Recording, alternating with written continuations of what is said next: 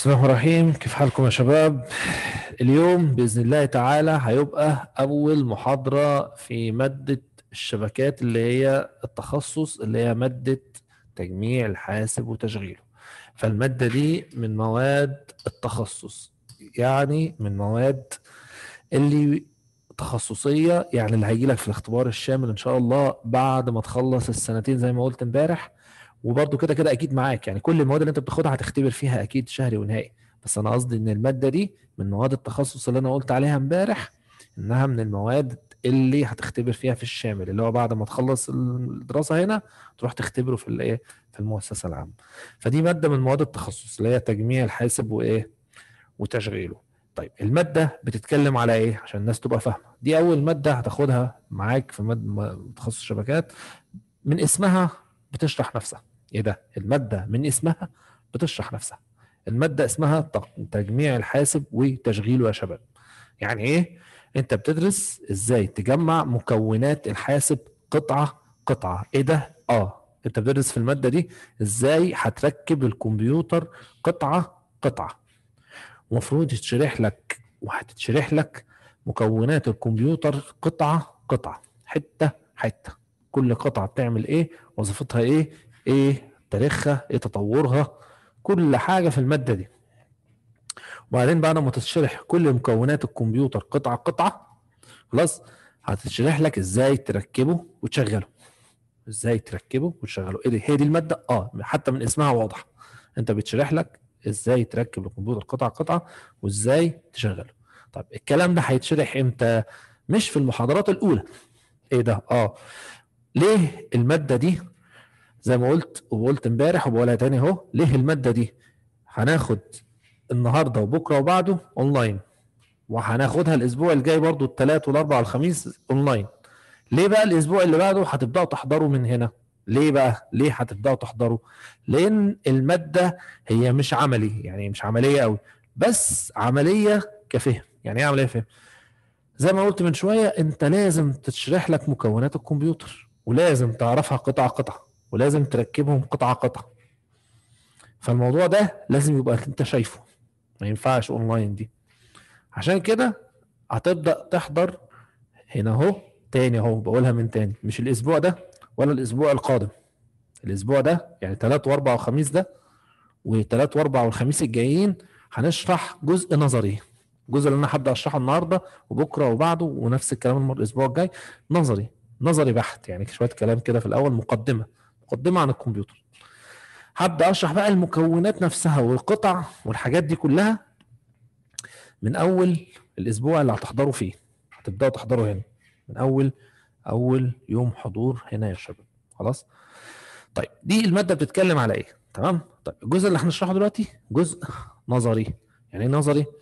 مهم؟ طبعا مهم طبعا. إيه ده؟ في المادة معاك. جزء معاك في المادة. بس زي ما تقولوا كده يا شباب نظري شوية ما فيهوش عمليه بس مربوط باللي جاي. يعني لازم تفهموا ركزوا معايا في المادة دي بالذات. ومواد التخصص بالذات اللي هي بتاعت الشبكات هي كده لازم تفهم الحاجة عشان تفهم اللي بعدها. كل حاجة مربوطة باللي بعدها. يعني اللي هتف... اقوله لك النهارده اقوله لك بكرة أقول لك بعده مربوط باللي قبله وهكذا وهكذا وهكذا. خلاص؟ وطبعا زي ما قلت وبقولها تاني قلتها الفيديو ده بيتسجل أهو بيتسجل. هبعت لكم ال link على ال group بتاع الشبكات اللي دي بتاعت الشبكات في group للشبكات أنا عامله. هبعت لكم ال link الفيديو على group الشبكات عشان تقدر تشوفها في أي وقت تشوف الفيديو أو المحاضرة دي في أي وقت. خلاص هتقدر تراجعها أو تشوفها أو كده. تمام؟ طيب النهارده هنتكلم عن أول حاجة معانا في الجزء النظري بتاع المادة يا شباب. إيه هو؟ الكمبيوتر نفسه. فكرة حاجة اسمها فكرة عمل الحاسب. إيه ده؟ فكرة عمل الكمبيوتر. الكمبيوتر لما اخترعوه خلاص كانوا عايزين يخترعوا إيه؟ إيه ده؟ هي دي موضوع كلمة فكرة عمل الحاسب فكرة عمل الحاسب. لما جم يخترعوا الكمبيوتر شباب خلاص كانوا مخترعينه ليه؟ السبب. مخترعينه عشان اسمه.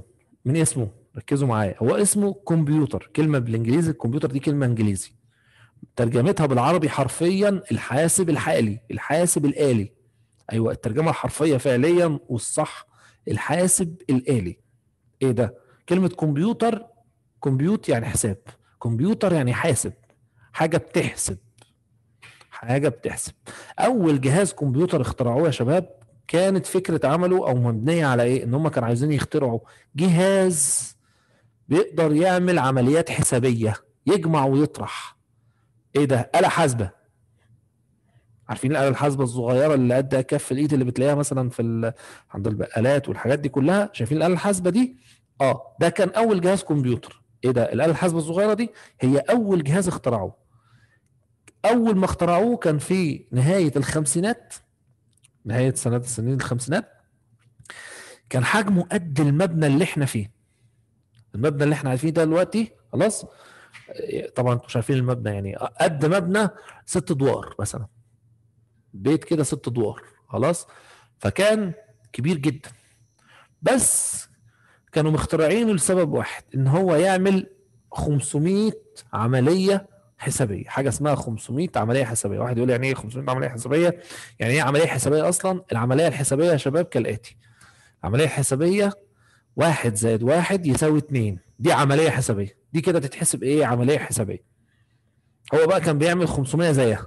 واحد يقول لي إيه ده؟ إيه التفاهة دي؟ آه لا ده كان طفرة وقتها. أنت متخيل إن حاجة بتحسب زي الإنسان؟ تيجي تقول لها 2 زائد 2 تطلع 4 فكان حجمه قد المبنى وما بيعملش 500 عملية حسابية. الآلة الحاسبة اللي هي الصغيرة اللي أنا بقول عليها من شوية دي اللي في البقاله دي الصغيرة دي بتعمل أكتر من مليون عملية حسابية.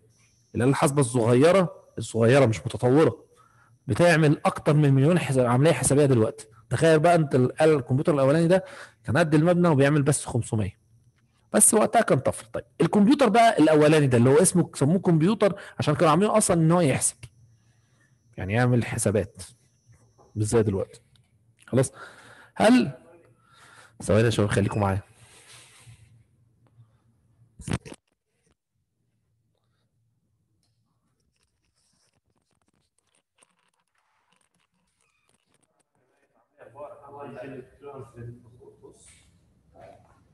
هو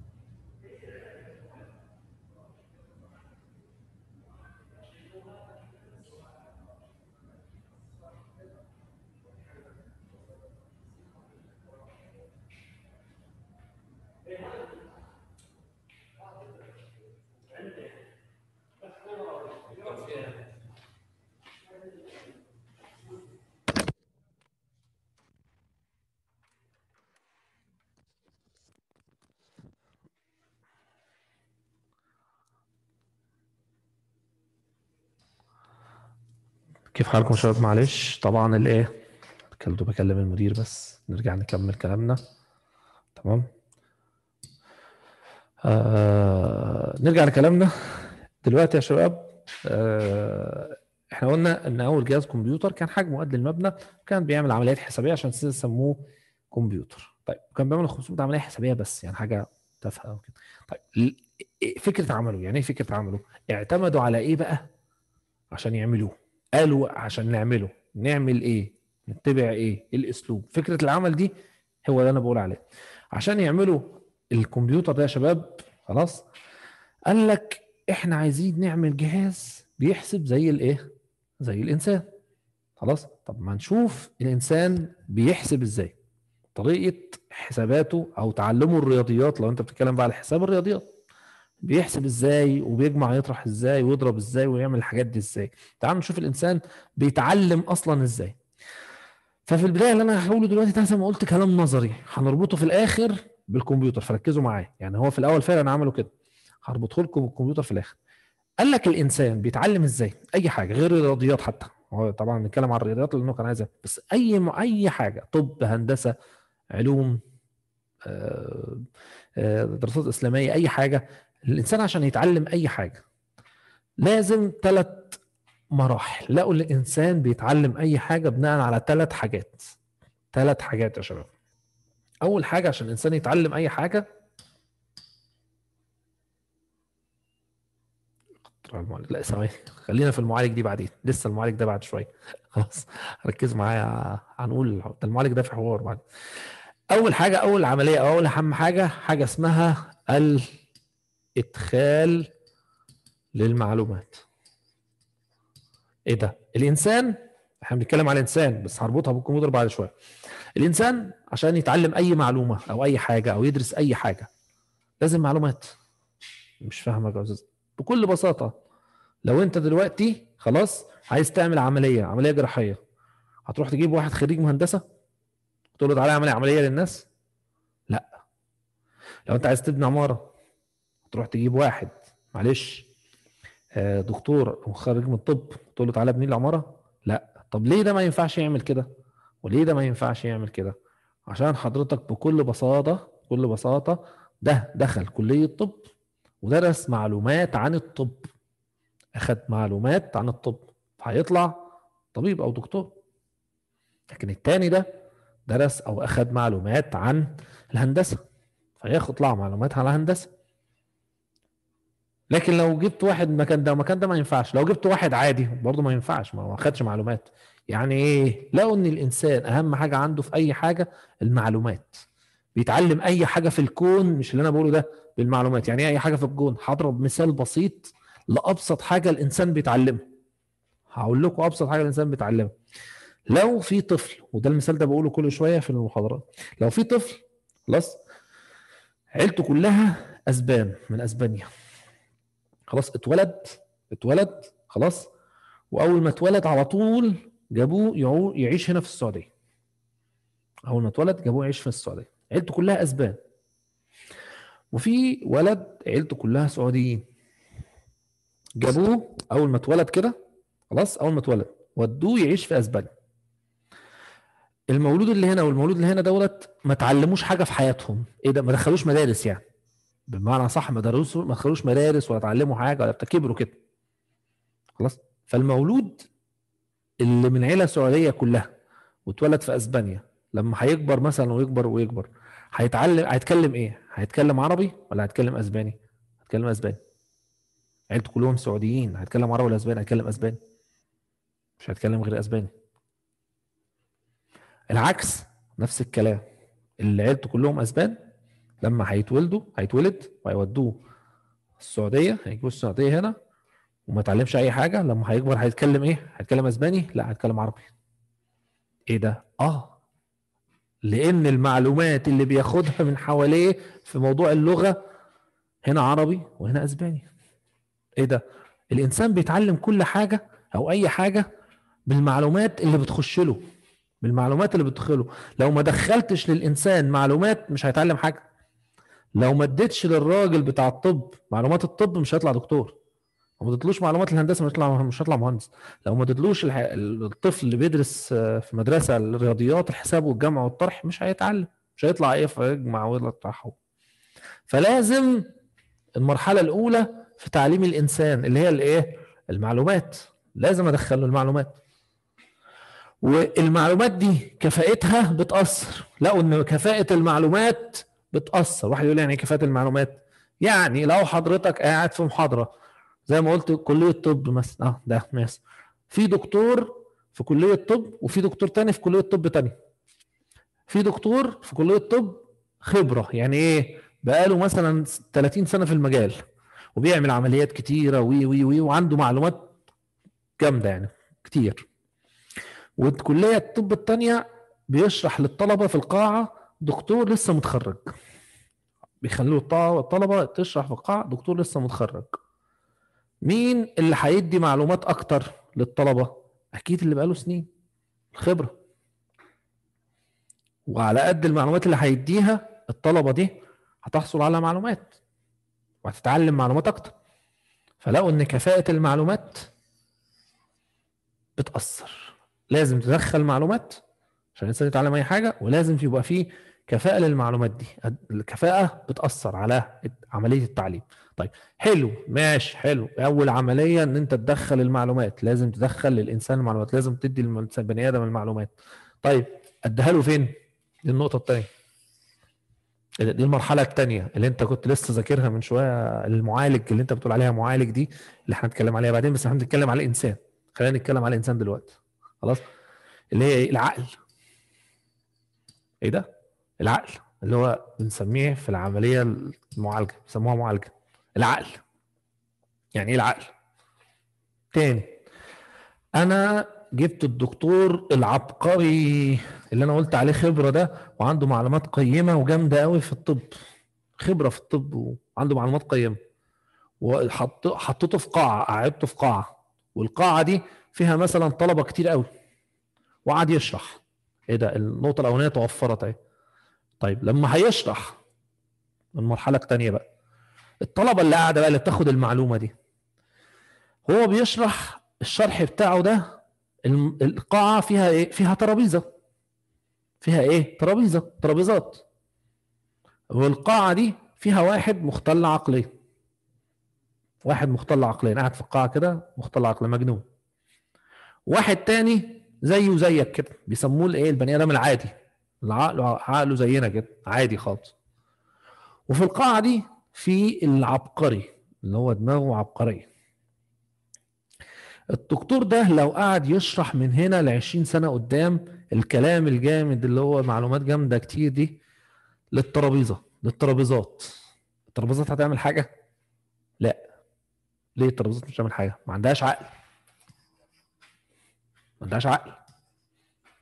لازم العقل لازم المعلومات دي تدخل العقل فدلوقتي ما لهمش لازمة. طيب لو نفس الدكتور ده بقى زي ما قلت وعمال يشرح كتير وفي قاعة في واحد مختل عقليا مجنون. هل ده عنده عقل أهو؟ ده عنده عقل. هل المعلومات بقى اللي بتخش له دي ليها لازمة؟ لا طبعا. برضه مش هيعمل حاجة. مش هيعمل حاجة ليه؟ هو عنده عقل بس العقل مختل ضايع. لازم العقل يبقى كويس. لو قعد من هنا 20 سنة مش هيطلع حاجة مش هيدي مش هياخد مش هيستفيد حاجة بالمعلومات. طب الراجل العادي اللي زيه زيك اللي قاعد ده الطالب العادي اللي زيه زيك عقله زيه زيك كده هياخد المعلومة ممكن يفهمها من أول مرة ممكن ما يفهمهاش غير من المره الثانية إيه ده؟ آه ده عنده عقل عقل كويس فهياخد المعلومة وهيبدأ يعالجها أو يفسرها حسب قدرته يعني المره الأولى المره الثانية لكن العبقري بقى اللي قاعد اللي هو خد المعلومة من الدكتور اللي ممكن يكون أصلا عنده معلومة قبل كده. لما ياخد المعلومة دي هيعمل حاجة جامدة ويطلع بمعلومة أكتر. ف ده العبقري. يعني المرحلة الثانية العقل. لو المرحلة الثانية في تعليم أي حاجة للإنسان عقله. لازم الإنسان يبقى عنده عقل. طبعا في عملية التعليم اللي بيتعلم حاجة والعقل ده يبقى بكفاءة كويسة برضه عشان العملية تتم. عشان عملية التعليم أي حاجة. واحد يقول لي يعني أي حاجة؟ إحنا بنتكلم عن الرياضيات الحساب والحساب والجمع والطرح. لازم الجمع والطرح يكون عنده ليه. وبعدين ياخد معلومات عن الجمع والطرح كويسة. وبعدين تخش المعلومات دي في عقل كويس. عشان المرحلة الأخيرة. المرحلة الأخيرة يا شباب. إيه ده؟ إحنا ليه بنعمل كده؟ ليه أنا بشرح أنا دكتور طب بشرح لطلبة في طب؟ ليه الدكتور الطب بيشرح لطلبة في طب؟ ليه الدكتور اللي هو عنده معلومات في الطب بيدي معلومات في العقل بتاع الطلبه والطلبه عشان في الآخر الطلبة دي تاخد المعلومة وتروح تعمل عمليات أو تدي المعلومة دي لطلبه بعدها. أو تدي المعلومة للطلاب اللي جايين بعد كده. الناس اللي عايزة تتعلم بعد كده. اللي هي عملية اسمها الإخراج. الإخراج يعني الشخص ده يطلع ناتج يعمل حاجة نستفيد منه بحاجة. لو اتكلمنا عن الرياضيات مثلا والحسابات لو هنتكلم في الحساب والجمع والطرح فأنا جايب معلومات عن الجمع والطرح عشان أديها للعقول. طلبة عن تاخد الجمع والطرح. عشان بعد كده الجمع والطرح ده يستفيدوا بيه بعدين. حد يقول لهم مثلا 6 زائد 6 كام؟ يقول له 12 آه كده. 7 في 2 بكام؟ ب 14 كده. لو حد سألهم بعد كده يطلعوا إخراج يخرجوا المعلومات. يستفيدوا بالعمليات والجمع والطرح والعمليات عشان كده. أي عملية تعليمية أو أي حاجة بيحاول الإنسان يفهمها طريقة فهم ليها بيعتمد على الثلاث عمليات دول. لقوا إن الإنسان عشان يتعلم أي حاجة لازم الثلاث حاجات دي إدخال معالجة إخراج. سموها كده إدخال معالجة إخراج. حلو. طيب بدل البني آدم بيتعلم الثلاث حاجات دي فراحوا اعتمدوا عليها في فكرة إنشائهم للكمبيوتر. إيه ده؟ آه. قال لك تعالى كده. طب ما نيجي نعمل الكمبيوتر زي كده. طب إزاي؟ قال لك أول حاجة الإدخال. وهطبق الكلام ده بقى على الكمبيوتر دلوقتي. ركزوا معايا بقى. هل عمرك شفت كمبيوتر طبعا ماليش دعوة بالتابلت سيبوا التابلت على جنب وسيبوا ال touch الحاجات ال touch ال tablet وال والجوالات لأن دي كمبيوتر برضه واحد يقول لي دي كمبيوتر آه. التابلت وال وال smart phone وجوالات ال smart phone الايفون والحاجات دي وكمبيوتر دي كمبيوتر. على فكرة آه. بس أنا بتكلم على الكمبيوتر العادي خلينا نتكلم على الكمبيوتر العادي اللي هو في البيوت العادية. خلاص؟ إخراج النواتج أو المعلوم المعلومات ايا كان مش هتفرق. هي عملية اسمها إخراج بس النواتج أفضل لسبب. هو بيستنتج حاجة بيطلع حاجة. ممكن يكون عنده معلومة قديمة هيضيف دي عليه يطلع حاجة جديدة. حاجة مختلفة. فهمت؟ ما علينا. مش مشكلة اللفظ. المهم إن أنت تعرف إن هي اسمها إدخال ومعالجة ودي هنتكلم عليها بس ركز في اللي جاي الأول. المهم فبنيجي بقى لكلامنا. دلوقتي نرجع كنت بقول إيه والله. نسيتوني آه. دلوقتي يا شباب آه. أنا دلوقتي هطبق الكلام ده على الكمبيوتر. طيب سيبكم التابلت وسيبكم السمارت فون والحاجات دي خلينا دلوقتي في الكمبيوتر العادي. الكمبيوتر العادي في البيت. واحد يقول لي طب انت بتقول الكمبيوتر اول واحد اخترعوه كان قد المبنى. اللي أنا هقوله ده مفيش اختلافات حصلت في العصر. هم صغروا حجمه بس. يعني هو هو ده كان موجود كل الحاجات اللي أنا هقولها دي كانت موجودة بس بدأوا يصغروا إيه؟ حجمها. في كمبيوتر في البيت أي كمبيوتر في البيت. هل أنت الكمبيوتر اللي في البيت تقدر تشتغل من غير كيبورد وماوس؟ إيه ده يعني مش فاهم. مش تاتش مش التابلت ولا لا أنا قصدي الكمبيوتر العادي هل لو أنا مشغل الكمبيوتر أنا دلوقتي مشغل الكمبيوتر عندي في في الشغل أهو اللي بتكلم بشرح لكم عليه. لو أنا شلت الكابل بتاع ال keyboard لوحة المفاتيح وشلت الكابل بتاع الماوس الفارة الكمبيوتر إيه اللي هيحصل؟ هيفضل شغال صح؟ ماشي يا حمد. okay ركز معايا يا حمد. ثانية واحدة. المهم تركزوا معايا. تمام؟ الكمبيوتر خلاص. آه كنت هقول إيه؟ لو شلت الكابل بتاع ال keyboard أو لوحة المفاتيح والفاره شلت لوحة المفاتيح وشلت الفاره خلاص؟ لو شلت الاثنين دول الكمبيوتر هيفضل شغال. هيفضل إيه؟ شغال. بس ليه لازمة؟ يعني إيه لازمة يا أستاذ؟ لو أنت قاعد قدامه وأنت شايل الاثنين دول مش موجودين هتعرف تعمل حاجة؟ لا. هتعرف تدخل له أوامر؟ لا.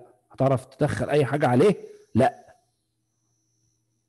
نفس الكلام أصلا من قبل ما حضرتك تقعد عليه. يعني أنت قبل ما تقعد عليه الكمبيوتر اللي قاعد في البيت ده مين اللي حط لك عليه الحاجات اللي عليه؟ إيه ده؟ آه. الويندوز اللي عليه ده.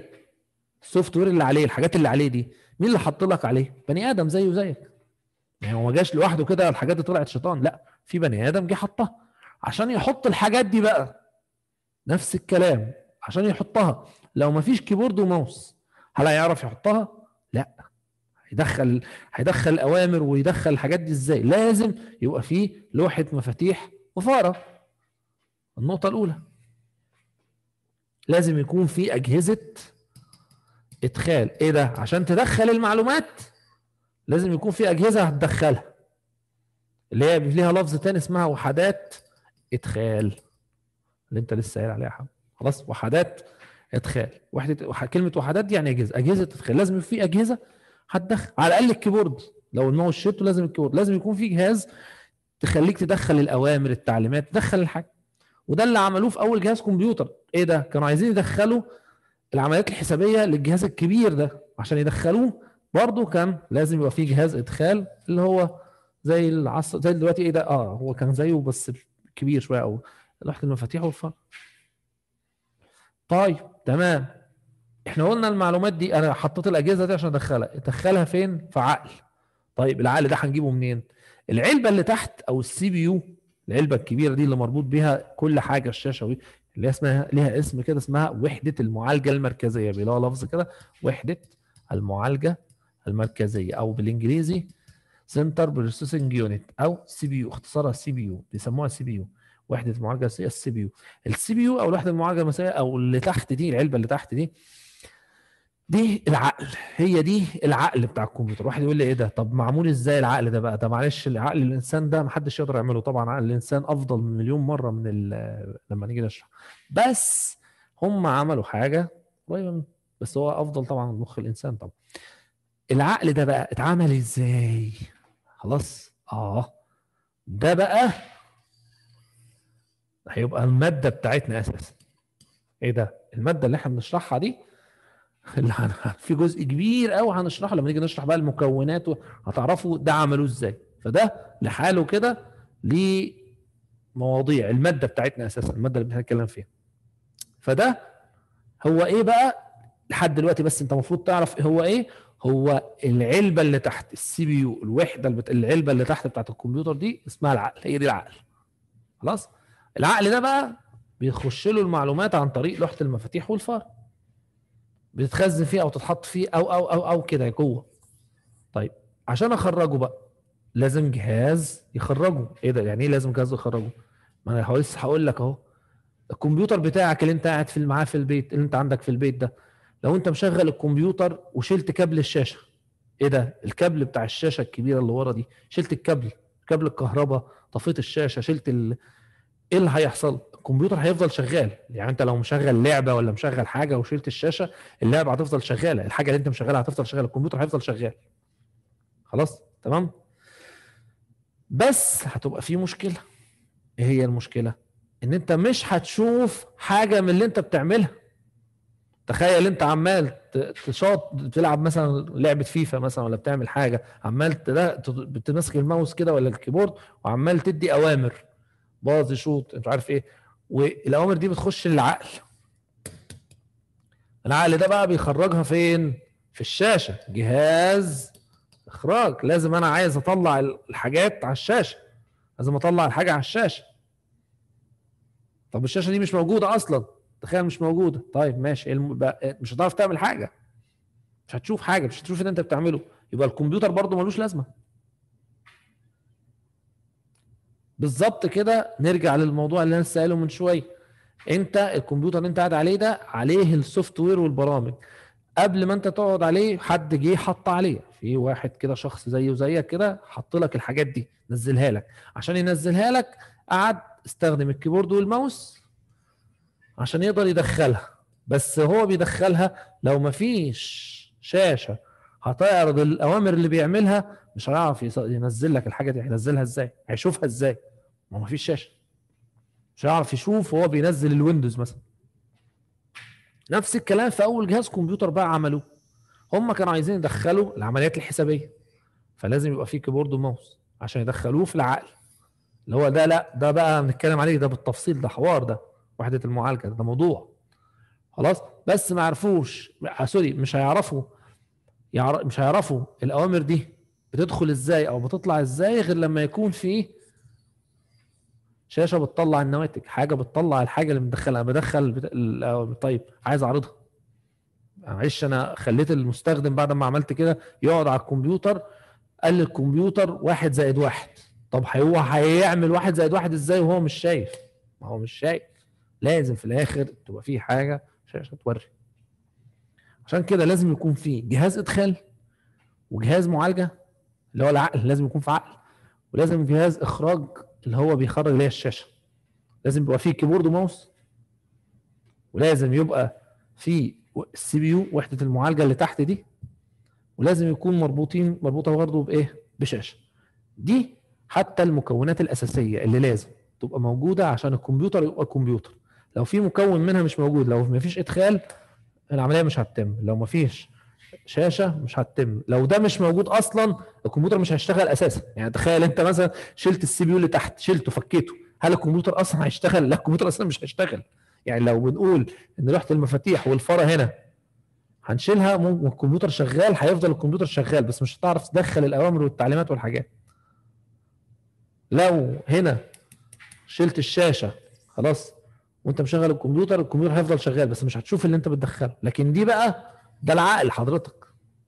لو شلته أصلا الكمبيوتر فين؟ فين الكمبيوتر؟ مش هيشتغل فلازم عشان يبقى في كمبيوتر لازم جهاز يدخل يدخل في عقل. لازم لوحه المفاتيح وفاره وتخش في العقل اللي هي وحدة المعالجة المركزية. وحدة المعالجة دي تكون مربوطة بالإيه؟ بالشاشة عشان تخرج الحاجات دي. تمام؟ ودي اسمها فكرة عمل الحاسب الأساسية يا شباب. اللي اعتمدوا عليها. بكرة هناخد حاجة تانية. هنبدأ ندخل بقى في الثلاث حاجات دول اللي إحنا بنتكلم عليهم بس هناخدهم بصيغة تانية. الكمبيوتر بقى بيتكون من إيه؟ إيه ده؟ من أول بكرة هناخد مكونات الكمبيوتر إيه؟ إيه مكونات الحاسب الآلي؟ الحاسب بيتكون من إيه؟ هنقف لحد الحتة دي وبكرة هنتكلم في الكمبيوتر بيبقى فين هنوقف الفيديو ثانية واحدة.